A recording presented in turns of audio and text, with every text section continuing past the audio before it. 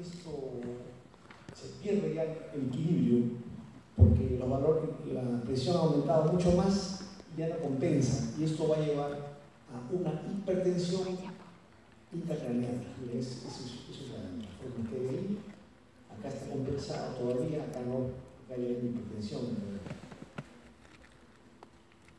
Los volúmenes están dentro de una corriente es el cráneo. La presión está disminuida de forma homogénea dentro de toda la cavidad craneal. Conforme aumenta la presión del volumen intracranial, aumenta el volumen, la presión no aumenta todavía, porque hay una compensación hasta que tiene un límite y acá ya hay un aumento marcado, ese límite, un aumento marcado de la presión intracranial un volumen determinado, o sea, perdió el mecanismo de control hasta acá más llega ese mecanismo de control, porque más, después de esto ya sube de forma exponencial la presión intracardiaca. Este es el tema que les decía, ¿eh? acá tenemos, este es lo normal, ¿no? los componentes, volumen cerebral, volumen sanguíneo y volumen de raquídeo. Esto es normal, ¿no? Esto es normal acá vemos el rojo el volumen arterial de la sangre y el volumen venoso crolila, ¿no? Entonces este, esto es lo normal. Eso es lo normal. Acá este, este es el raquídeo y acá la vena yugular que lleva sangre fuera del cerebro, fuera del, cerebro, ¿no? Esa es la vena yugular. Eso es lo normal. Aquí se agrega una masa, y acá hay una masa que está agregada dentro del cráneo y esto ya es un, volumen aumentado. Entonces esto lleva a una compensación. ¿Qué va a suceder?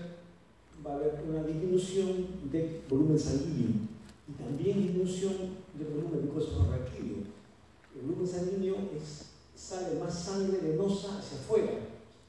Eso se va, eso se va a, a producir porque se produce venodilatación venosa porque sale la vena y sale más sangre de la cavidad endocraniana. Al salir más sangre, disminuye la presión venosa, la sangre sale hacia afuera y hay disminución de la presión intracraneana. También igual sucede con el encefaloraquídeo, también disminuye. Se va hacia eh, ¿no? la médula espinal, se va hacia abajo el líquido tal vez para la salida del líquido, la salida de la sangre, porque hay venodilatación.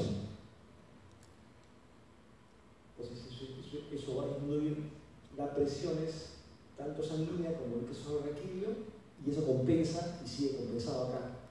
Aquí la masa es más grande, ya no compensa ya.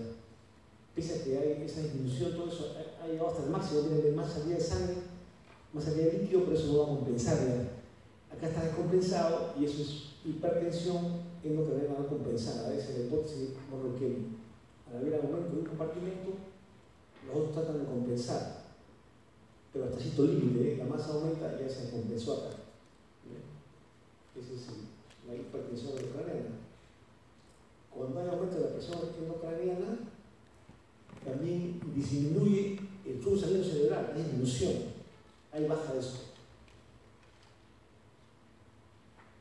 Entonces, al aumentar la presión endocraniana, disminuye el flujo sanguíneo cerebral. La presión, el, flujo sanguíneo cerebral está, tiene una relación directa con la presión intraarterial media, menos la presión venosa yugular, todo sobre la asistencia vascular cerebral, es RBC. Esto es, es la relación. Al aumentar la presión intracraniana, hay disminución del flujo cerebral. ¿Y esto qué lleva? Esto conlleva a que se va a producir una, una autorregulación que lleva a dilatación vascular para compensar. Hay vasodilatación vascular y mejora el flujo cerebral. Entonces hay una relación directa. al aumentar la presión endocraniana, disminuye el flujo sanguíneo cerebral. Entonces, ese es lo que conlleva, ¿no? Entonces hay dos tipos de, efectos de, este, de esta depresión craneal, dos tipos de efectos. El efecto intracraneal y el efecto sistémico. El intracraneal es eh, baja el flujo cerebral ¿no? de forma global o regional, disminuye. También, aparte de eso, hay efectos directos sobre el tejido cerebral por compresión, distorsión de estructuras, y esto da, lugar a las hernias. Hay hernias. Como aumenta un, una parte del, cerebro, la presión intracranial puede llevar a las herniaciones, distorsión del tejido cerebral por compresión, Esto quiere decir que una, una porción del cerebro va a pasar de un compartimento hacia otro por el efecto de la impresión, de elevada, hay herniaciones. También hay efecto sistémico, que se va a definir por la respuesta por efecto de Cushing, que va a llevar a la discardia, hipertensión arterial y alteraciones del ritmo respiratorio. Puede haber alteración de Gene Stock, de Biot, entre otras. Entonces esa es la triada que decía de Cushing, ¿no? Bradicardia, hipertensión arterial y alteración del ritmo respiratorio. Efecto sistémico de la hipertensión ucraniana. Entonces, fíjense, esa es la, la relación ¿eh? sistémica y efecto intracraniano. ¿Qué mecanismos hay de hipertensión ucraniana? ¿no? Esto puede producirse por el aumento del volumen del encéfalo. Aumenta el encéfalo y eso da hipertensión ucraniana. Ese aumento del encéfalo puede estar vinculado a una masa ocupante en parénquima cerebral. Puede ser un hematoma, un tumor o un absceso. El hematoma puede ser espontáneo, traumático, hay un hematoma intracerebral, un tumor o un absceso. El tumor, por supuesto, ustedes saben que el tumor progresa de forma eh, no, lenta y progresiva, puede durar meses esos síntomas. Progresivamente hay cefalea crónica, después hay focalización y también se acompaña de hipertensión ucraniana, el tumor, son tumores. El absceso es de más rápida evolución, es el acúmulo de pus dentro del parénquima cerebral. Es un, un cuadro subagudo, un mes, un mes y medio, hace semanas, pocas semanas, y aparece este, este síndrome que es absceso cerebral, acúmulo de pus dentro del parénquima cerebral. Entonces, eso es una también causa aumento del volumen del cerebro, eso también causa hipertensión arterial. El hematoma es secundario a, a un traumatismo, también puede ser espontáneo, de acuerdo a eso, ¿no? Y también hay otra causa más de, de aumento del volumen cerebral, que es el edema cerebral, aumento del contenido acuoso en el cerebro. Esa es la definición de edema cerebral. Entonces hay dos tipos de, de, aumento del volumen cerebral. Uno por masa frecuente de espacio y otro por edema cerebral. También se puede producir aumento de presión intracranial cuando hay acúmulo de sangre en las meninges. Por ejemplo, un atoma subdural, un atoma epidural, se acumula sangre en las meninges y puede producir también presión craneal. También se puede producir por aumento del volumen intravascular. Por ejemplo, cuando hay obstrucción del drenaje venoso cerebral. La trombosis del seno venoso longitudinal es una causa de esto también el síndrome de vena cava superior, cuando hay también trombosis de la vena yugular, trombosis de la cava superior, también aumenta la presión venosa y también puede producirse edema cerebral o hipotensión de la por, un incremento del volumen de sangre, no sale sangre del cerebro. Entonces, el efecto de drenaje venoso cerebral va a producir como consecuencia aumento del volumen cerebral y esto da hipertensión canal en ese sentido. ¿eh? También se puede producir aumento de masa cerebral cuando hay hipoxia, aumento de CO2 en la sangre, el flujo sanguíneo cerebral está aumentado porque se produce vasodilatación por exceso de CO2. Otra causa más de incremento de una salud cerebral que da hipertensión intracraniana. También se puede producir eh, aumento de la presión intracraniana, se va a producir por aumento del líquido cefalorraquídeo y esto se llama hidrocefalia, se llama esto. Aumento del líquido cefalorraquídeo y hidrocefalia. Esas son las causas de hipertensión intracraniana.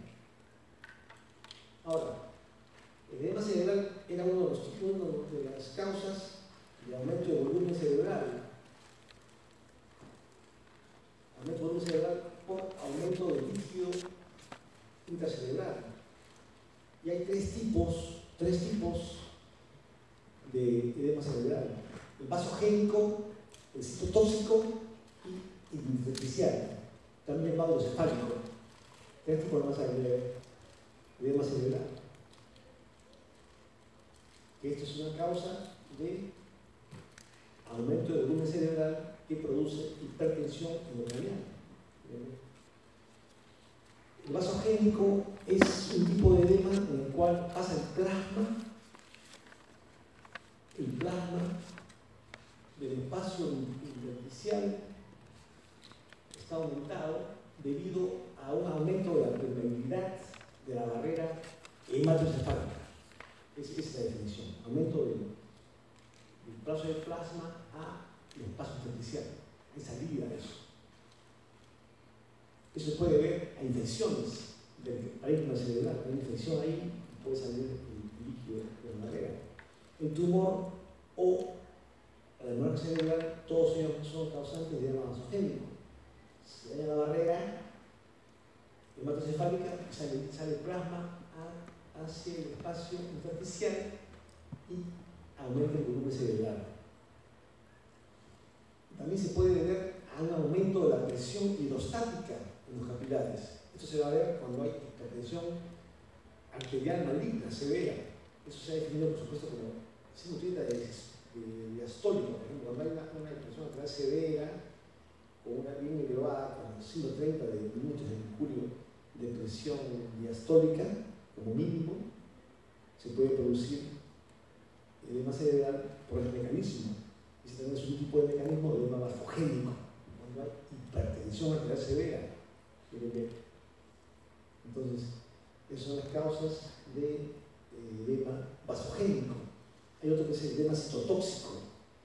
Este tipo de edema es eh, salida, más bien entrada, es entra el líquido del espacio intersticial hacia las células, hacia las neuronas, hacia las células gliales y también a las células endoteliales, se van a hinchar, va a entrar agua a las células. Los astrocitos, neuronas y células endoteliales van a hincharse porque se va a acumular agua dentro de la célula. ¿Y esto por qué es? Esto se debe por ejemplo, a una disminución del aporte de oxígeno. Entonces, al no haber oxígeno, hay un defecto de provisión energética de la célula y fracasa la bomba sodio-potasio ATPasa. Esa bomba es para sacar sodio de dentro de la célula, hacia afuera. Y si eso no sucede, se acumula el sodio dentro de las células y jala agua hacia ahí como hay más sodio dentro de la célula, pasa líquido a donde hay más sodio y hay edema cerebral intracelular. Entonces esto va a llevar a edema citotóxico por hipoxemia. También se ve cuando hay eh, hiposmolaridad del espacio celular, por ejemplo, en hiponatremia severa, cuando hay hiponatremia severa, presentación hipotónica, también se va a producir edema cerebral por este mecanismo, edema citotóxico, por hiponatremia, por hipoosmolaridad del espacio extracelular. Entonces, estos son mecanismos que van a llevar a lo que se llama edema citotóxico. Las células hinchadas, las células están hinchadas, las células de la glía, estrocitos, neuronas y también células nucleares están hinchadas porque hay cúmulo acúmulo de agua intracelular. Hay también lo que se llama el hidrocefálico. Habíamos dicho que la hidrocefalia es el aumento del líquido, eh, líquido cefalorraquídeo, ¿no? Entonces es hidrocefalia, y esto, sucede en el edema, el edema hidrocefálico o intersticial es, se va a ubicar en la sustancia blanca periventricular. El glicosafalquía aumenta dentro de los ventrículos.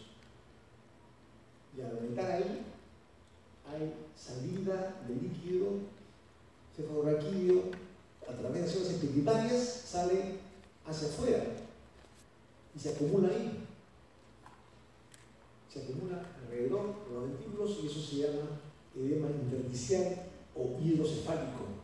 Acúmulo de cefalorraquídeo alrededor de los ventrículos secundario a hidrocefalia obstructiva, como dije Carlos, ¿eh? ese es el edema hidrocefálico. Es la comparación, el comparativo de los tres edemas de origen masogénico, citotóxico, hidrocefálico, o también llamado intersticial, ¿no? Tres tipos de edemas. Ya dije la patogénesis, de este de acá, el masogénico, es aumento de la permeabilidad capilar, el citotóxico, hinchazón o edema celular, edema intracelular, hidrocefálico, aumento del fluido cerebral debido a bloqueo de absorción o, aumento del líquido cefalorraquídeo. El edema no está localizado, el edema masogénico está localizado sobre todo en sustancia blanca. El edema citotóxico en gris y blanca. Y el hidrocefálico o intersticial está localizado en sustancia blanca periventricular el fluido, cómo se compone, el vasogénico es un filtrado plasmático, como les dije, el edema tóxico, aumento de agua y sodio intracelular y el edema hidrocefálico está formado por líquidos cefalorraquídeo. El volumen de fluido intracelular está incrementado en el vasogénico, disminuido el citotóxico e incrementado el hidrocefálico la permeabilidad capilar está aumentada en el masogénico, normal en el citotóxico y también normal en el hidrocefálico. La causa ya le dije, probablemente ya ya le dije, acá el masogénico, tumor cerebral, absceso, hemorragia cerebral, encefalopatía hepática, edema de las alturas, todo eso va a ser eh, masogénico. Citotóxico, hipoxia, le dije hipoxia isquémica, anemia, síndrome de describido de hemodiálisis, todo lo que altera la, la ¿no? la presión eh, osmótica a nivel cerebral se altera y se produce este tipo de edema citotóxico. El hidrocefálico se va a producir por obstructiva. El vasogénico responde bien a esteroides, los demás no responden a esteroides. Solo el vasogénico responde a esteroides que tiene tumor cerebral o hematoma cerebral, digamos, eh, ¿no? por ejemplo, ¿no? No sirve, en estos casos, en otros casos no sirve el corticoide. Ejemplos de edema cerebral, ¿no? vasogénico, tumores. Este es un tumor local localizado, ¿no? Parece un metástasis un tumor acá, a este nivel, y alrededor se edema de las sustancias blancas, sobre todo le dije ¿no? que ese edema es edema vasogénico porque se ha lesionado la barrera hematoencefálica y sale plasma hacia afuera, se produce el edema cerebral vasogénico. Es el tumor más grande, inclusive el tumor más, mucho mayor, de mayor extensión, también como edema vasogénico por tumor. Este es un edema cerebral citotóxico, hipoxia neonatal. El, el recién nacido tenemos severa hipoxia sabemos que la hipoxia va a producir un edema citotóxico porque no hay una, una falla de, de, la bomba sodio de potasio TPasa, no sale el sodio de las neuronas y jala líquido, se produce edema cerebral severo por hipoxia. Este es un edema de la casa de microcefalia, marcada dilatación de los ventículos, ¿no? Y alrededor de líquido alrededor de ese líquido hermano que va a acá, ese líquido es el edema interdicial o hidrocefálico, edema alrededor de los ventículos por este mecanismo. ¿Cuáles son los síntomas de la presión arterial elevada? ¿Cuáles son los síntomas? La cefalea, sobre todo, ¿no? La cefalea que es más que nada matutina, más en la mañana, aliviar con el vómito, tipo opresivo, es causada por distorsión y estiramiento e invasión de estructuras que duelen, ¿no? Tal como las venas, las meninges. Este, este, esta cefalea puede ir, a, también acompañada de conciencia alterada, ¿no? alteración del nivel de conciencia, o también déficit focal, ¿no? se puede ver en estos casos, y eso hace pensar en la hipertensión intracraniana. También hay muchos pulsátiles, sensación de zumbido de oídos, pulsátil, ¿no? coincide con el pulso. Es también sugerente de este tipo de trastorno de hipertensión intracraniana. Vómitos, por lo general sin náuseas. Y también bajo cefalea, esos vómitos si el paciente tiene vómitos, si, si cefalea ya baja la posibilidad, ya ven, porque tenemos que si hay cefalea, vómitos, sin náuseas, se dice vómitos en proyectil, se llama vómitos en proyectil, sin náuseas, eso va a favor de este síndrome. También, el signo más importante que se va a encontrar es el, el papiledema. El la pupila es la señal más fiable del síndrome de hipertensión macaniana. ¿no? no aparece en todos los casos, ¿no? Cuando es muy temprano, a veces la impresión muy temprana, todavía no le da tiempo, se produce este, este. O sea, puede, haber, también, puede también haber impresión también así en la pila, puede haberlo, porque no le ha dado tiempo que suceda eso. No sucede en todos los casos, toma un tiempo. O sea, eso no es patognomónico. No es así, es el 100%. Es, si encontramos que hay hemapila, es, es muy sugerente este síndrome pero puede no haberlo y no descartes de síndrome.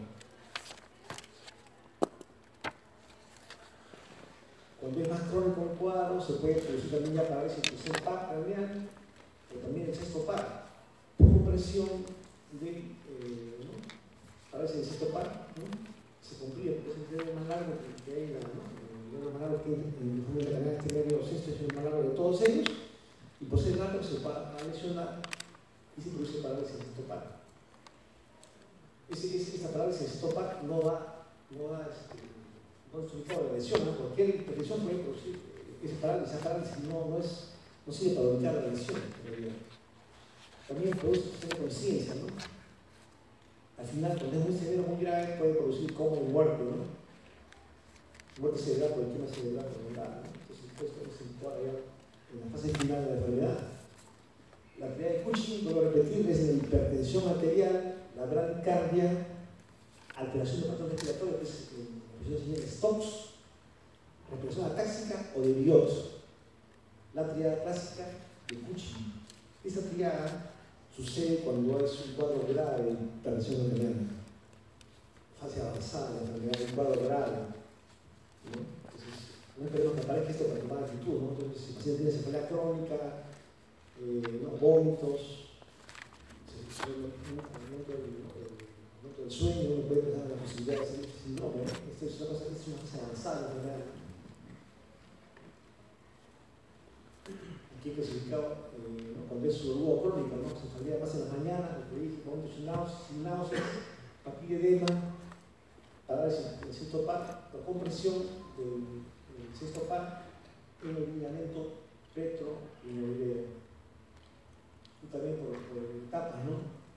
Fase inicial se caldea vómitos, somnolencia, condición psíquica, estado avanzado aparece papiledema, crisis visuales, aumento de mancha ciega, disminuye la agudeza visual, impropia, que aparece en el sexto par, ondulación, es tipo licoma, rigidez de aceleración, está más avanzado, ¿no? Alteración respiratoria y vegetativa. Este es un cuadro más avanzado de ese señor. Este es el papilodema, este es una papila de bordes líquidos, bordes como el compás. Pero eso de acá es una fibra borrosa, de bordes no líquidos, pero borrosa, que es lo que se llama el papiledema. No se presenta en todos los pacientes, pero si encontramos eso en tancómetro, con cefalea, estamos frente a un síndrome de perdición notarial. Cuando hay eh, este síndrome, se puede producir lo que se llama herniaciones. Herniaciones es salida de una parte del cerebro a través de, la hoja del cerebro o la tienda del cerebro, ¿no? salida de una parte del, encéfalo. Hay varios tipos, son como cuatro tipos, hasta cinco tipos hay. El primero es la hernia del símbolo. Esta hernia pasa a través de la hoja del cerebro, está acá. Se producen por lesiones supratentoriales, ¿no? están encima del cerebro.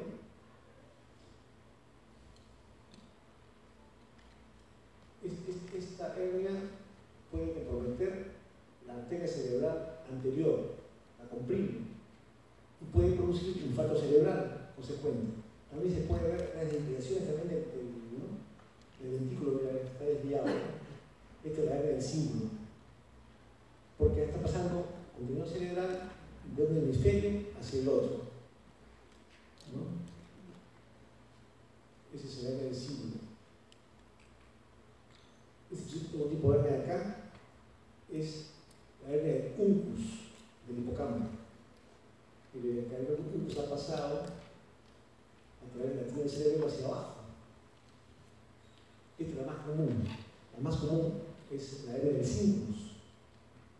Perdón, perdón, la área del lucus, perdón. El lucus, no está pasado el lucus hacia abajo y comprime acá estructuras que están hacia abajo. ¿eh? Esta área del lucus es la más común y tiene su clínica característica, ¿no? que es disminución progresiva del sensorio. El paciente tiene cada vez más sueño, supor o coma, es más avanzado. También se puede producir midriasis, midriasis del mismo lado de la lesión y también se puede producir hemiparesia o hemiplegia contralateral, porque se comprime acá, también se comprime eh, las vías motoras, ¿no? que se van a cruzar, entonces eso va a dar una hemiplegia contralateral, una midriasis y trastorno progresivo del sensorio, la triada de la hernia del uncus, el hipocampo, que es la más común.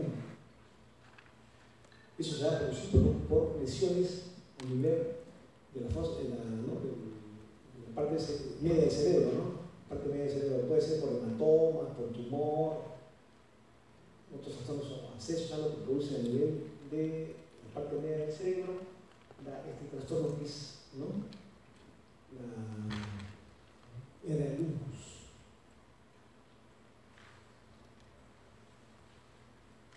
Esto puede progresar, por ejemplo, si tenemos un paciente que tenía un traumatismo craneano a nivel de la fosa media del cerebro, del, lobo temporal, porque hay hematoma en la tomografía, entonces uno, uno, recomienda al personal de enfermería que vea al paciente cada hora y le vea las pilas, por ejemplo, entonces se hace un control, se ve pilas, ¿para qué? Para ver.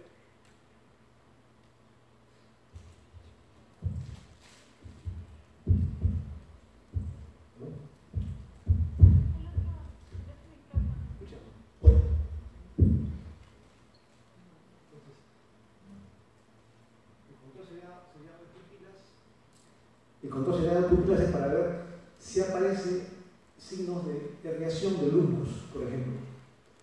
Entonces ahí viene una toma de cerebral, entonces el, personal que controla al paciente en forma horaria, puede ser enfermera o el médico encargado del paciente, tiene que estar viendo las pupilas porque puede eso progresar. Aumenta el, hematoma y la progresión se va a ver el paciente está, es más, más oporoso, entra en coma, hay midriasis y hay una hemiparesia contralateral. Eso indicaría aumento o desviación de lupus, por ejemplo, que es una emergencia, una emergencia ¿no? médica en esos casos. Entonces, por eso se le por ahí TEC, un, una observación del paciente, las pupilas del paciente. lidiasis de un solo ojo, lidiasis. Entonces eso, eso, eso indica ese, ese, por eso esos, lo que uno es los signos para que eso no vaya aumentando, ¿ve? Entonces ese es el, el, humus. También se produce una área transtentoral central, acá está, este acá es transtentoral central, en el cual hay salida, pasaje por el arteria del tentorio va el pasaje mesencéfalo y diencéfalo hacia abajo. Se produce también por tensiones tan lejanas acá de, este agujero, la parte superior puede haber tumores, puede haber eh, lesiones cerebrales de algún tipo, accesos o hematomas que van a producir este de lesión. Están arriba, están en la región prefrontal, occipital, lejanas de la parte de acá, están acá en la parte inferior, y hay pasaje del diencéfalo diencéfalo hacia abajo. Esto va miosis bilateral, también va relación de cine stock, pérdida de la mirada vertical, ojos hacia abajo. ¿no? Esta es, es la herniación transcentural central, es un tipo de herniación. También se puede producir las amigas cerebrosas, estas amigas cerebrosas bajan hacia abajo y comprimen el tronco cerebral cumplir el puro reactivo, no puede producir la muerte del paciente. Esta es una grave, ¿no? Se puede producir por tumores o lesiones a nivel del, del, cerebro. Acá está el cerebro, la fosa, ¿no? Eh, pues acá hay lesiones, se puede producirse, esto crece en el cerebro y se va a producir herniación de las familias cerebrosas. Es un tipo de lesión. Y también se puede producir esto cuando hacemos punción lumbar a pacientes con lesiones cerebrales importantes, ¿no? Una, una toma grande cerebral, un tumor acá arriba, hace una punción lumbar, puede haber una reacción de las unidades cerebrosas con muerte del paciente, no se va a producir déficit cardiorrespiratorio, al principio hay hipertensión, ¿no? alteración del, ¿no? Presión del pulso, puede haber de la respiración, puede haber, ¿no? y también esto puede producir la muerte del paciente por paro cardiorrespiratorio, ¿no? También puede haber hipertensión neurológica, son los síntomas que van a ver acá, y también son las consignas progresivas. Muerte del paciente, ¿no? Por la lesión de su, cuadro grave, ¿no? Y este de acá es la transhistorial ascendente, y este de acá es porque este es un tipo de al revés, sube, sube la, el, componente infratentorial, se va hacia arriba, sube hacia arriba. ¿Por qué sube? Porque eh, han hecho un drenaje ventricular externo. Dentro del ventrículo ponen acá un drenaje, baja la presión, como la presión, la presión infratentorial supera a la presión supratentorial. Entonces sube contenido acá hacia arriba. Una área transterrial ascendente, eso, ¿eh? Es porque hay drenaje ventricular y eso ha producido esto y hay trastornos, es un cuadro grave, ¿no? Se producen anomalías articulares, defectos posturales, infarto de la arteria cerebral superior, es un cuadro grave, ¿no? Un mal pronóstico. Esto es importante conocerlo, la hipertensión endocrinal idiopática. Aquí hay lo que se llama, esto antes le llamaban el tumor cerebral. Es una realidad de, de hipertensión endocrinal se presenta en mujeres jóvenes, sobre todo obesas, con obesidad mórbida. ¿no? Aquí la tomografía puede ser normal, sea, no hay tumor, no hay, lesión cerebral. No hay, solo hay aumento de la presión arterial, pero sin lesión cerebral. No hay hematoma, no hay nada, solo aumenta el nombre idiopática, la hipertensión intracraniana la TAC es normal, pero se produce papiledema, como es en otra persona no nada, hay papiledema, que produce ceguera en el 5% de pacientes. Se asocia a hipotensión alveolar, apnea del sueño, anticonceptivos orales y prebaterones A, metacicrinas. Todo esto puede producir presión arterial hepática, gases importante, vómitos, trastornos visuales, anadosis fugaz, visión borrosa, y puede producir pérdida de visión. El 5% de pacientes produce ceguera. Y se puso sobre todo en, damas jóvenes, obesas, con obesidad mórbida sobre todo. ¿eh? Este es un trastorno en el cual no hay tumor, la tomografía es negativa, hay una llamada hipertensión pulmonar idiopática. Hay que revisar sobre los ¿no? que es un tipo que también puede producir aumento de glucosaforraquídeo por alteración de su dinámica, y eso también hay hipertensión localiana. El glucosaforraquídeo se produce acá, dentro de los artículos, se va a producir, ¿no? Se va a producir ahí glucosaforraquídeo y acá circula, líquido, va a circular, sale por acá por el agujero del Monroe, del ventículo lateral sale del agujero del Monroe, el tercer ventículo, pasa por el utensilio y de ahí, acá, el tercer ventículo pasa al cuarto ventículo. El cuarto ventículo, a través de las arterias de Bruska y Mayembi, va al espacio supranuclear.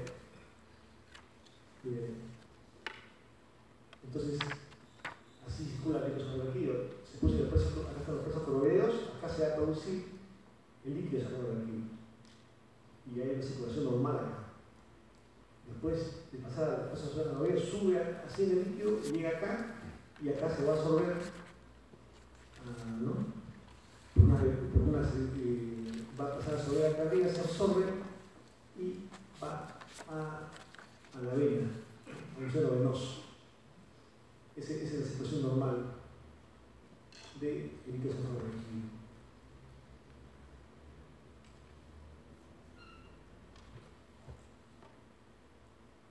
entonces el volumen de ciclo de va a producir también hipertensión caliente, ¿no? Es la hematocefalia, que puede verse a excesiva producción de peso meningitis y papiloma, papiloma de peso redondeo. O sea que hay, el peso se produce demasiado porque hay una meningitis de inflamación a nivel del peso y también papiloma, que da exceso de producción da exceso y aumento de la, de presión.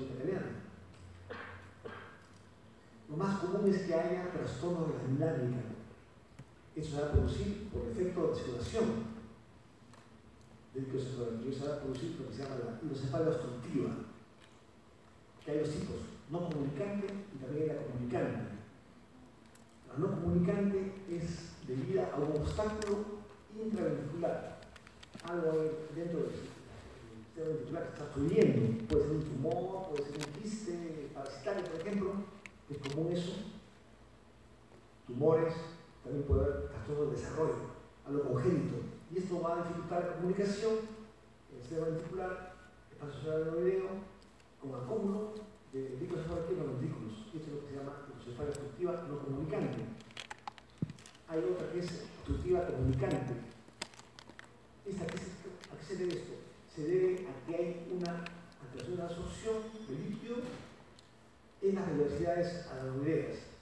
Normalmente están en la parte superior de las adenoides, ahí se va a absorber, se va a absorber ahí a el líquido, pero ahí hay un obstáculo que impide que se absorba a ese nivel de líquido y se acumula más y se va a producir hidrocefalia no comunicante se va a caracterizar por aumento de los ventículos cerebrales, obstrucción de la corriente esofágico. El esofágico circula dentro de los ventículos cada vez a mayor presión y aumenta el tamaño de, los hemisferios cerebrales, de hemisferios cerebrales y también aumenta el tamaño de los ventículos. En lactantes, es importante conocer esto, aumenta el tamaño de la cabeza del lactante y eso produce Microcefalia va a producir una macrocefalia, ¿no? Aumento de volumen del, cráneo del niño, ¿no? Porque podemos cerrar las fronteras. Que se aumenta el tamaño de la cabeza en los niños, microcefalia, no comunicante, constructiva. Todas las formas de microcefalia, atención, son obstructivas. La obstrucción total completa aguda es incompatible con la vida. Estamos viendo que el producto va a comunicar al tercer tipo por cuarto. Cuando hay anomalías como gente que sea totalmente de ese acueducto, es incompatible con la vida, no, no, eso es interesante que no. Las causas de este, este, los fallos no comunicantes son varias. Tumores están en las vías, ¿no? tumores malignos pueden haber ahí, intraventriculares. Por ejemplo, con metástasis, ¿no? Hay metástasis que puede producir esas lesiones. También puede ser, lo más común y congénito es la estenosis del rebote de cilia. Es la manera congénita más común que va a producir este trastorno, ¿no? Y eso va a producir hidrocefalia congénita. Eso va a producir alteración de ventrículos laterales y tercer ventrículo. Esta es la más común. También se puede producir atresia de agujero de Tusca y Malindí. Eso se llama una formación de grande igual que se eso. Es una también anomalía congénita, pero más menos frecuente que la de acá. Esta de acá es la más común.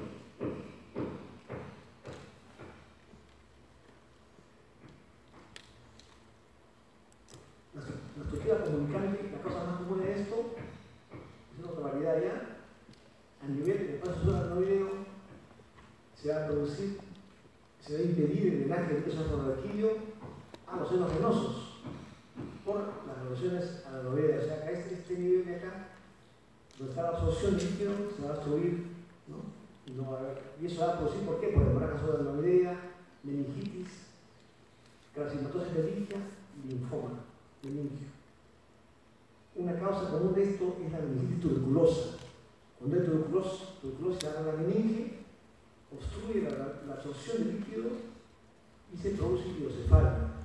Eso puede suceder eh, una vez por el paciente. El paciente que da terapia tuberculosa mejora su TBC meningia, se estabiliza, pero como se han lesionado las. Eh, eh, ¿no?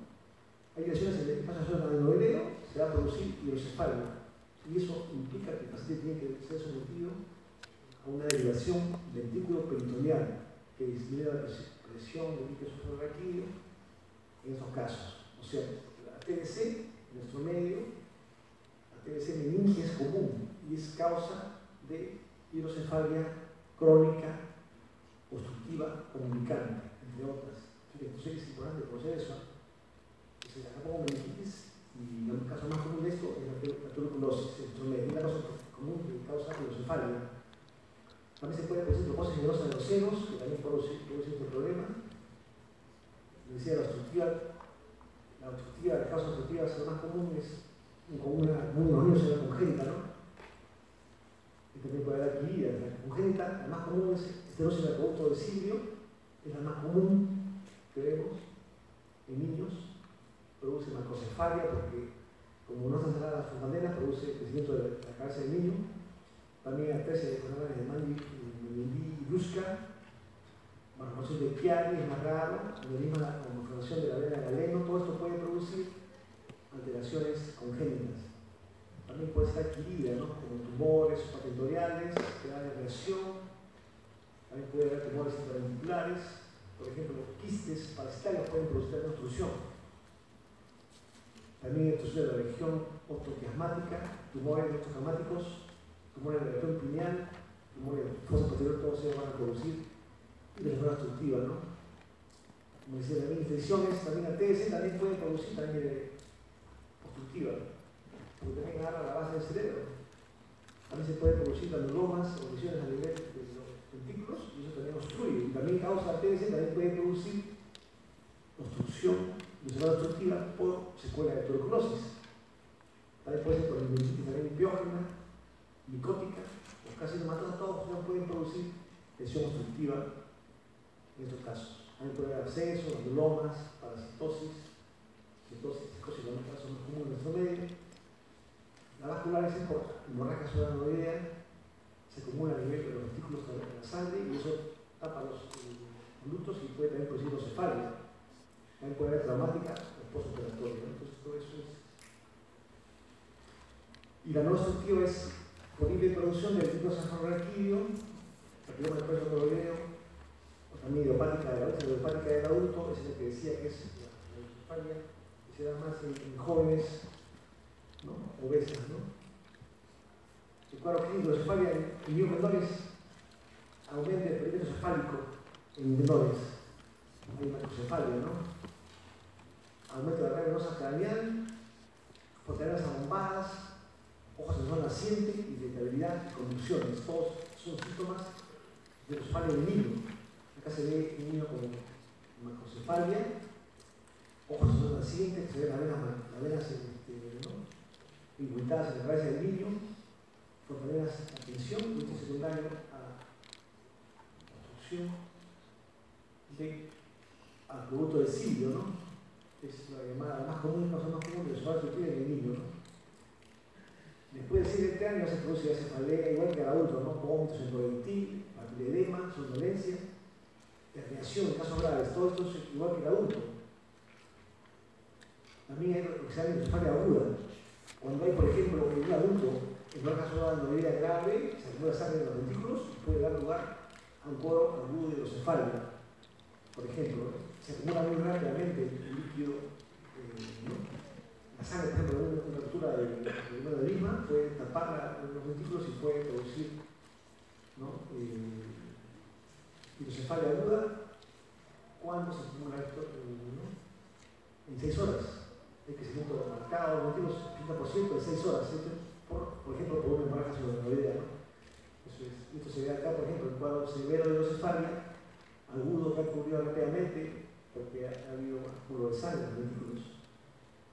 Entonces, en realidad, hay que revisar esto, comprender siempre que lo, lo, o eh, la impresión es un síndrome que tener en cuenta que puede producir cefalea, vómitos, sin explosivos, ilusión del sensorio y también puede producir cuando es eh, muy avanzado la teoría de Cushing, ¿no? son más avanzados fue la actividad de Cushing. Hay que conocer este, este, este, problema, ¿no? Cuando hay cefalea persistente en pacientes que tienen patrones sensorios, cefalea persistente, vómitos sin, sin, ¿no? sin náuseas, uno piensa en este síndrome, ¿no? Bueno, eso es todo lo que conversar con ustedes. Gracias.